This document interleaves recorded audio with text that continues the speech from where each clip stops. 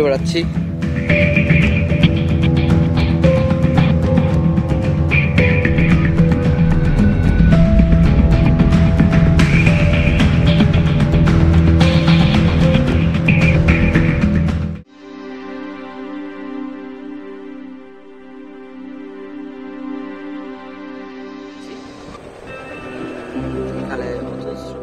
বন্ধুরা, কেমন আছেন সবাই? সবাইকে আমন্ত্রণ জানাচ্ছি কাজী সোহাগের ব্র্যান্ড নিউ ভিডিওতে দেশ এবং দেশের বাইরে যে যেখান থেকে আমাদের এই ভিডিওটি দেখছেন, সবাইকে জানাই সাদর আমন্ত্রণ।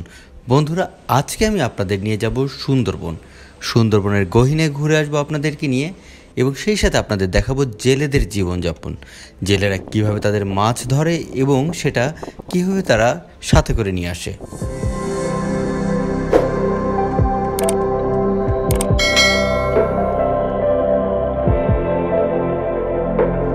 তো সুন্দরবনের সেই গহিনে যাওয়ার উদ্দেশ্যে আমরা প্রথমে রওনা দিলাম মঙ্গলার পশুর নদী হয়ে ট্রলারে করে সুন্দরবনের উদ্দেশ্যে।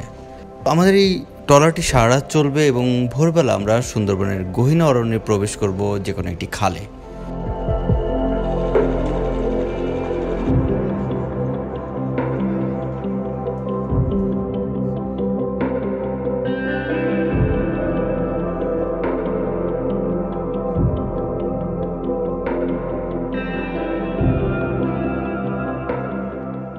তার আগে বলতে চাই বন্ধুরা, আমরা কিন্তু আপনাদের কয়েকটি জায়গার নাম হয়তো বলব না, শুধু দেখাতে চাই এই প্রাকৃতিক দৃশ্য।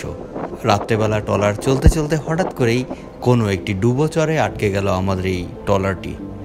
যার কারণে আমাদের ট্রলারের অভিযাত্রী দুজন সেই চর থেকে আমাদের ট্রলারটিকে ছাড়ানোর জন্য তারা পানিতে নেমে পড়ল। বন্ধুরা, আপনারা দেখতে পাচ্ছেন আমরা রাত্রেবেলা ট্রলারের ভিতরে কীভাবে আমাদের সব অন্যান্য অভিযাত্রীরা ঘুমাচ্ছে। তো দেখা হবে কাল সকালে।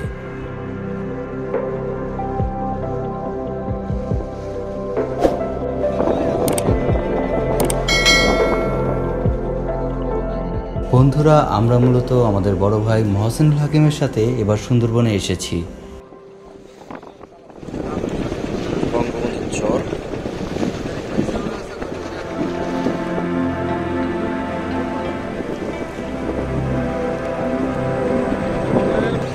আমরা এখন সুন্দরবনের বন্দে যে খালটা, সেই খালের মধ্যে দিয়ে যাচ্ছি। এখানে অজস্র পরিমাণে সুন্দরী গাছ আছে, কেওড়া গাছ আছে। আমরা ওই কেওড়া গাছগুলি দেখতে পাচ্ছি। বন্ধুরা, এখন আমরা আছি সুন্দরবনের গহীনে একটি খালের ভিতরে। আপনারা দেখতে পাচ্ছেন আমাদের হাতের ডান পাশে এবং বাম পাশে গভীর অরণ্য। এখন জোয়ার চলছে, যার কারণে এই খালের ভিতরে বেশ খানিকটা পানি এবং আমাদের ট্রলারটি এর ভিতর দিয়েই ছুটে চলছে।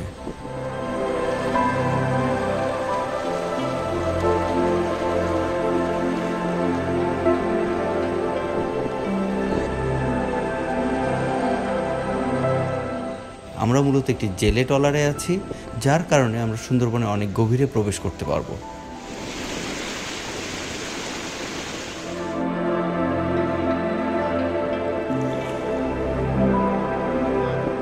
বন্ধুরা আমরা যে আপনাদের শুধু যে সুন্দরবনের প্রাকৃতিক দৃশ্য দেখাবো তা কিন্তু না আমরা দেখাবো কীভাবে মাছ ধরা হয়। সেই সাথে আমাদের খাওয়া দাওয়ার একটা ছোট বর্ণনা দেই। আমরা কিন্তু সবসময় টাটকা খাবার খেয়েছি। তো চলেন সুন্দরবনের ভিতরে যেতে যেতে আমাদের সকালের নাস্তাটা করি। সকালের নাস্তা আমাদের। খুব সুন্দর সকাল নাস্তা। ইলিশ মাছ কলা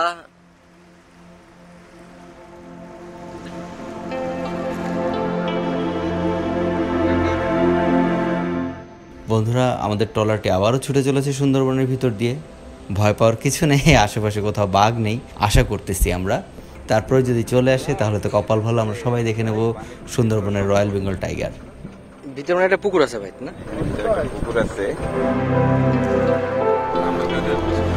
ওদিকে সব চর এই যেগুলো সবই চর আমরা চরের ফাঁদ বুঝে আমরা যাচ্ছি।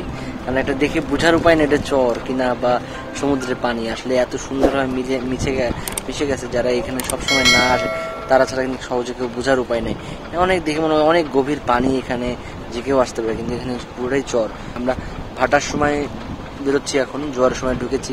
তখন অনেক পানি ছিল এখন পানি কমে গেছে। আমরা এখন বেরোচ্ছি। ঠিক আছে সামনে আরও কিছু দেখাবো আমরা এখন আরেকটা জায়গায় যাচ্ছি।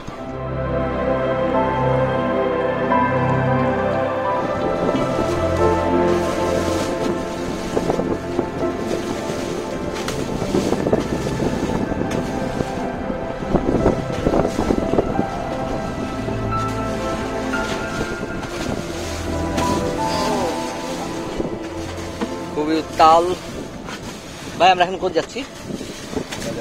এখন আর পাঙ্গেশিয়া নদীর এপার ওই যে দেখা যাচ্ছে যে ইয়েটা ওই যে পুতনির দ্বীপে যাচ্ছে ওই দ্বীপটায় আমরা এখন যাচ্ছি।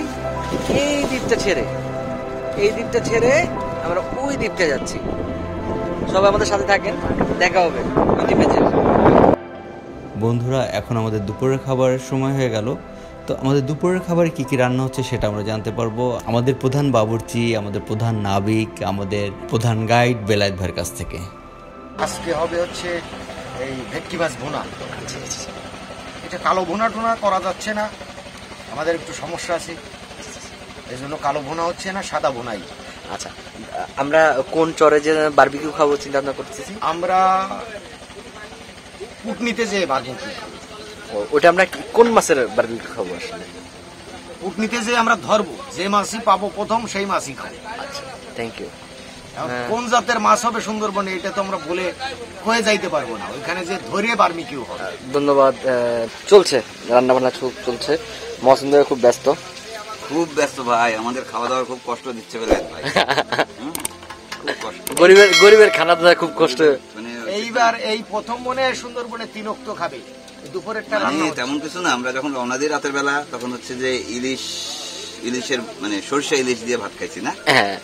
সকালবেলা খেলাম হচ্ছে গরম ভাত কালা জিরা ভর্তা। ইলিশ দিয়ে একটা তরকারি কাঁচা কলার আর হচ্ছে কালিজিরা ভর্তা ঝাল করে তাই না? গরিবের খানা ভাই। আর দুপুরবেলা আমরা খাব হচ্ছে এই যে ভেটকি মাছ পাতালি মাছ বলে এদিকে সেটার ভুনা। আমাদের চিফ বাবুর্চি আজকে খুব ব্যস্ত। সরি কুচে মাছ দিয়ে চিংড়ি মাছ ধরার বা অন্য আদার্স মাছ ধরার প্রস্তুতি চলছে। এদিকে মহসিন ভাই তার মাছ ধরার খুব ব্যস্ত। ভাই কি অবস্থা বলেন তো? মাছ ধরার কি অবস্থা? মাছ তো আসলে ধরা এত সহজ কাজ না ঠিক আছে? আমরা যখন যেমন এখানে আসছি প্রায় চোদ্দ পনেরো ঘণ্টা ট্রলার বেয়ে সামনে সাগর প্রচণ্ড স্রোত প্রচণ্ড রোদ। ঠিক আছে এগুলো করে প্রচণ্ড মানে শখ বললে হবে না যে শখ পূরণ করতে অনেক পরিশ্রম করতে হয়। আমরা সেই পরিশ্রম করতে সুন্দরবনের একটা খুব সুন্দর জায়গায় আছে আমরা। ওই পাং- মানে মাছ উঠছে আবার। হ্যাঁ হ্যাঁ হ্যাঁ। অবস্থা? পাঙ্গাস মাছ ধরা খাইছে আমাদের বর্ষিতে ভাই কি অবস্থা?